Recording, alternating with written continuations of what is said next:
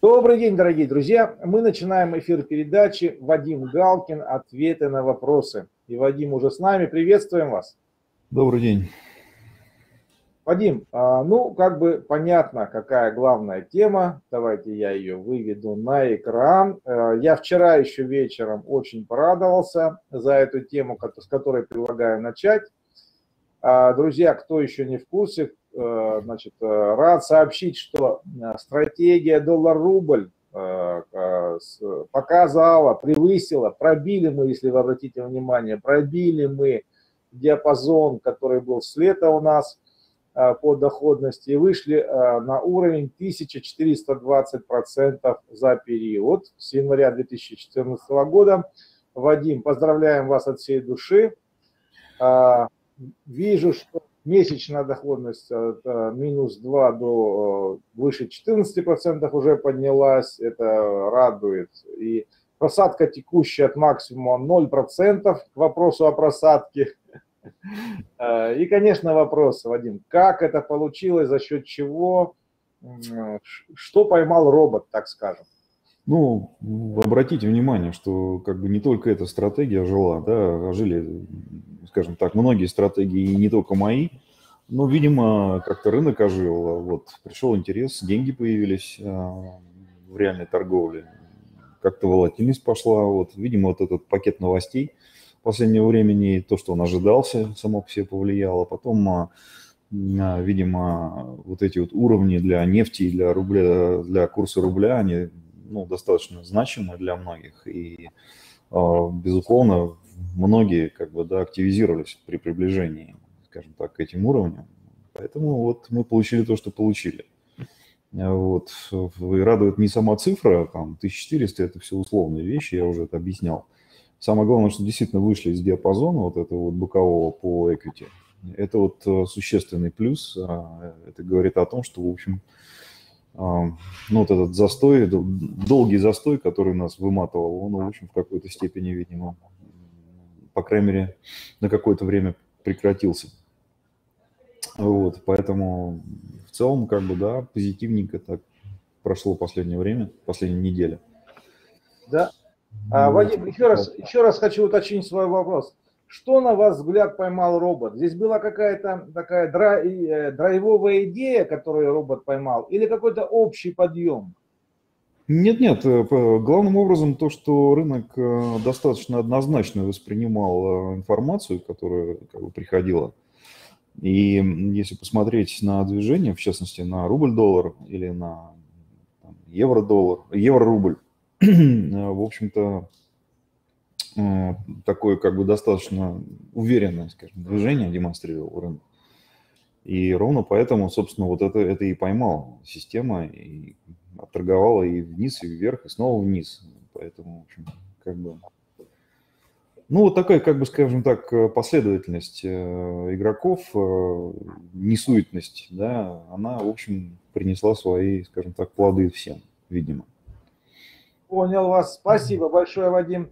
Да, действительно, я обратил внимание, что было такая, можно сказать, подобие широкой, широкой такой пилы, и то, что э, на этом можно было как много заработать, так и много потерять. И то, что вы оказались э, сказать, на светлой стороне заработавших, это, конечно, э, алготрейдинг. Мне кажется, вот преимущество алготрейдинга в таких ситуациях, оно очень хорошо заметно.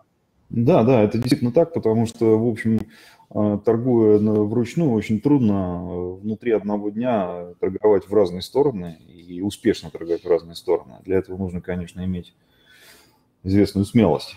Вот. А алгоритмы да, позволяют это сделать в такие ходовые дни.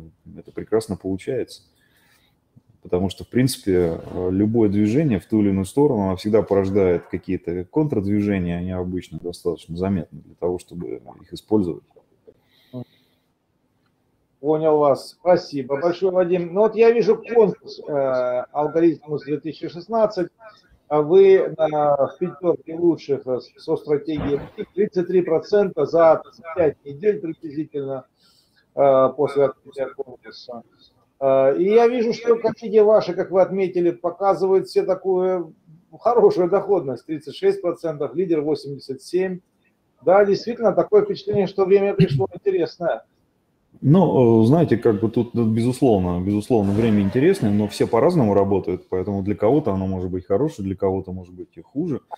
А, меня радует даже не пятое место там бренд, а, вот, а то, что там в топ-10 э, не одна моя стратегия, да, там, а несколько, скажем так. Там в топ-10, в топ-15, в топ-20, то есть они а, практически все перформят в той или иной степени. И вот это как бы действительно приятно. Потому что да. в конечном итоге цель не победить в конкурсе, а в том, чтобы показывать все-таки какие-то там близкие результаты по разным стратегиям. Это говорит об эффективности, в принципе. Ну, я, я даже раскрою участникам Utrade TV секрет, что цель э, в данном случае заработать много денег и получить хороший бонус.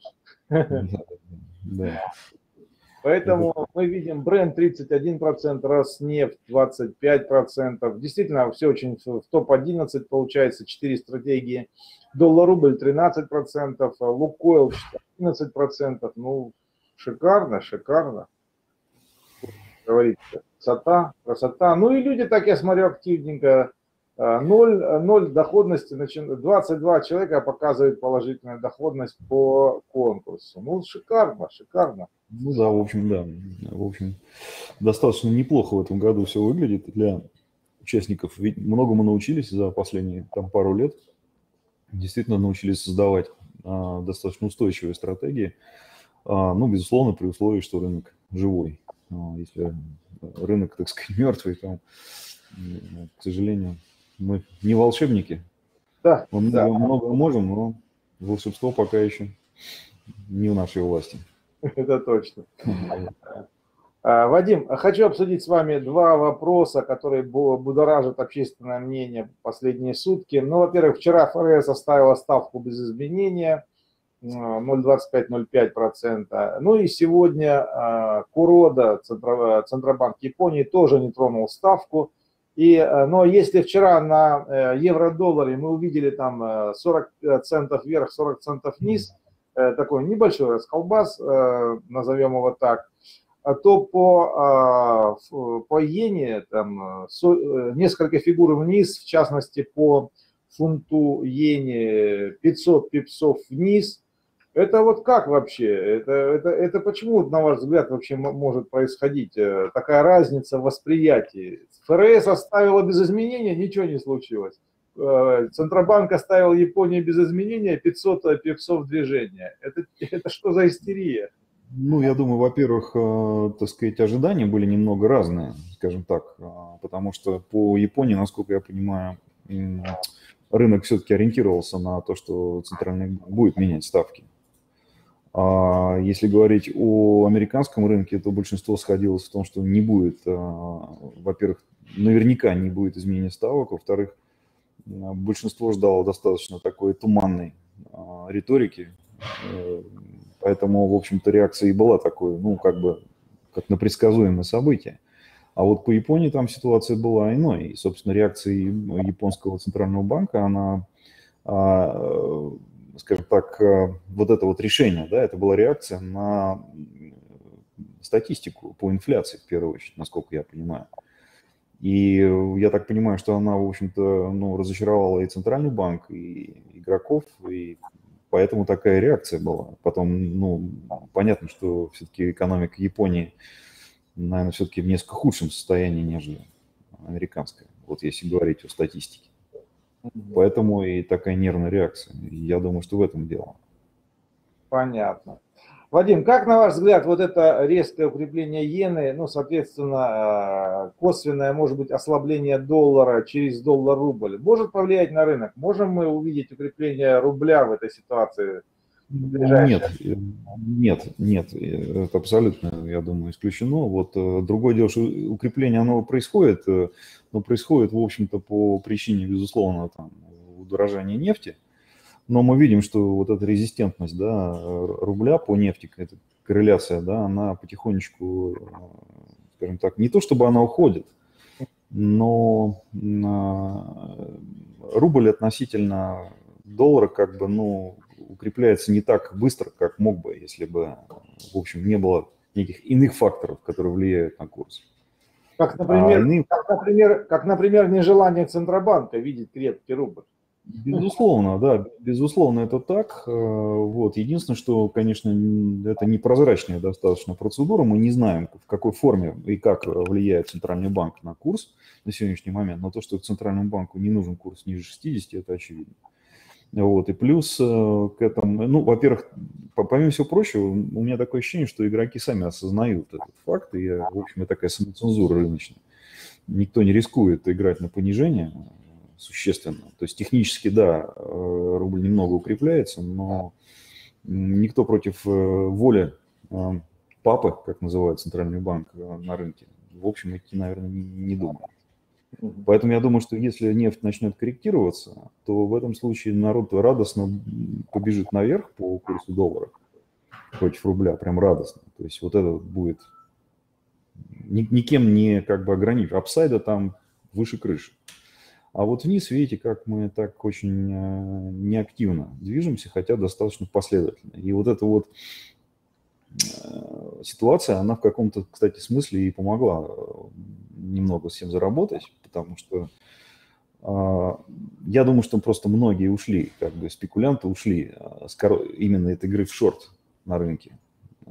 Вот, то есть те люди, которые а, очень на коротке работали, они как-то, мне кажется, их, их активность несколько уменьшилась здесь. То есть все стало поэтому несколько более гладко, так, может быть, не очень волатильно, но гладко. И поэтому вот э, рынок стал таким красивым, удобным, а, торгуем, торгубельным, так сказать. вот. Так Понятно. Что, Понял вас. Я, кстати, обращаю ваше внимание, что на споте доллар-рубль уже 64,77 в моменте, так существенное движение. Ну, это, это, это tomorrow, да? Да, да, на томе, на томе, да. Ну, все откроем тоже, посмотрим сейчас, естественно. Мы не можем пропустить этот, этот инструмент. 65 590 в моменте. Ну, ну да. тоже пробили все, что можно было пробить на уровне 65 871. Такая отметка у меня на БКС, на других платформах может несколько отличаться. Ну, э, мы так серьезно, я считаю, пробили и, ну... Ну, знаете, на самом деле это как бы не совсем тот локальный минимум, там еще был предыдущий, он где-то близко к, к текущим значениям а, на сегодняшний момент.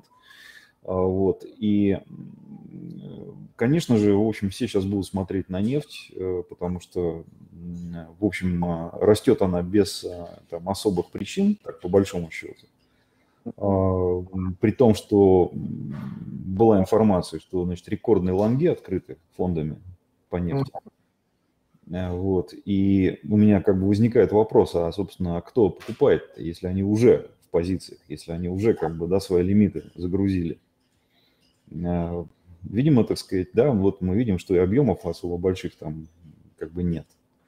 Поэтому а, Безусловно, мне кажется, все сейчас на таком, а, как сказать, на, на, на коротке, так сказать, ждут коррекции и готовы э, раздать нефть в случае, если она начнет отваливаться очень быстро. Вот у меня лично такое есть впечатление, поскольку, поскольку все ну, зашли быстро, да, как бы достаточно большими объемами, то есть они безболезненно могут разгрузиться. Поэтому мне кажется, что нефть э, в случае чего может просто вот отвалиться буквально мгновенно вниз. Да, такое впечатление у меня тоже есть. Посмотрите, как сегодня бьется нефть а, в отметку открытия а, сегодняшнего 47.26, и мы бьемся в эту отметку уже раз, ну, по сути, целый день. Поэтому как-то так. Такое впечатление, что сдулись немного. Такое ну, сдулись, не сдулись. Я говорю, что, в принципе, это движение может и нам практически без объемов быть. А, вот, но основные-то силы уже, как, как, как говорится, в деле. И, ну, скажем так, э, насколько долго вот этот вот процесс роста может быть э, поддерживаться без их участия, я не очень понимаю, честно говоря. То есть вот, такое, вот такая информация, что уже там все по уши в лонгах, она, в общем, играет в какой-то степени против перспектив роста. Зато как бы если начнут резать, то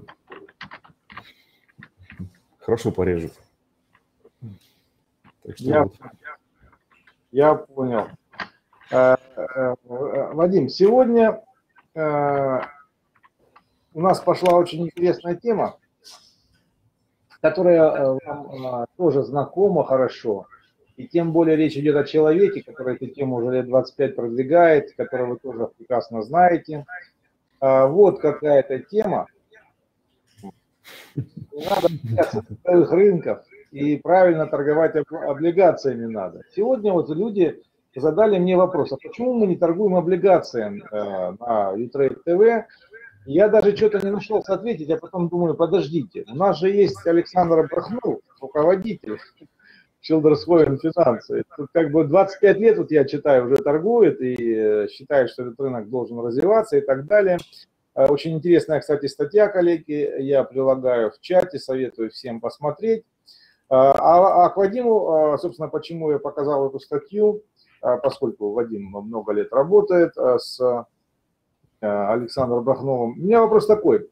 Вадим, а возможно поговорить с компанией Foreign Finance, чтобы кто-либо а, из тех, кто непосредственно вот каждый день занимается облигациями, хотя бы раз в неделю, скажем, по понедельникам в 2 часа или в любой другой день в 2 часа, поскольку у нас эфир в 2 часа, а, приходил бы к нам и давал бы какой-либо обзор по рынку облигаций и вместе с объяснениями, а где ими можно торговать. Раз у людей пошел запрос, может быть, и Шелдерслой сможет нам помочь? Я думаю, да. Я думаю, что нужно поговорить будет, э, может быть, прямо вам непосредственно. Я даже сейчас э, надо подумать, с кем лучше это обсуждать. Но я думаю, что это вполне возможно. Я думаю, что компания заинтересована в этом. Конечно. Вадим, а можно все-таки вас попросить подумать, посоветоваться внутри компании, насколько это интересно, и чтобы мы не полезли в ненужное окно, как бы не вызывая ненужного раздражения, если вы нам подскажете, как эту тему отправить, куда запрос. А я, я думаю, что нужно зайти на Софию Паскаль, mm. с ней переговорить. А, она, я думаю, координирует такие вещи, вот, и. Она, соответственно, там определится с руководством, кто, кто будет таким спикером. Я понял. Хорошо, по облигациям я себе записываю. А у меня вопрос такой. Шилдерсховен, а, какую долю бизнеса приблизительно составляет облигации? Вы активно торгуете облигациями? Я думаю, что там 95% бизнеса. Да. Серьезно? Да, да, да. Я понял.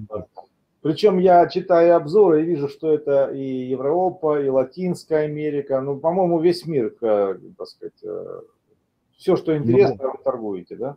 Да, но только единственное, что нужно понимать, что здесь э, как бы физически да, разделены а, компания московская, в которой, собственно, я, да, как бы работаю. Это один, одна, как бы, да, которая, собственно, занимается российским рынком. А основной бизнес голландский. И, э, скажем так, контрагентом по сделкам является голландская компания, собственно, она осуществляет сделки на рынке облигаций. То есть это как бы не, ну, не российский э, бизнес, это голландский бизнес. Нет, нет, я понимаю, но в России же есть э, российский аналитик по российским облигациям, что является основным интересом. Аналитик, конечно, да, безусловно, аналитики, конечно, потому что компания российская предоставляет э, консалтинговую поддержку для голландской компании, здесь, я думаю, проблем не будет с этим. Я, я понял. Ясненько. Хорошо.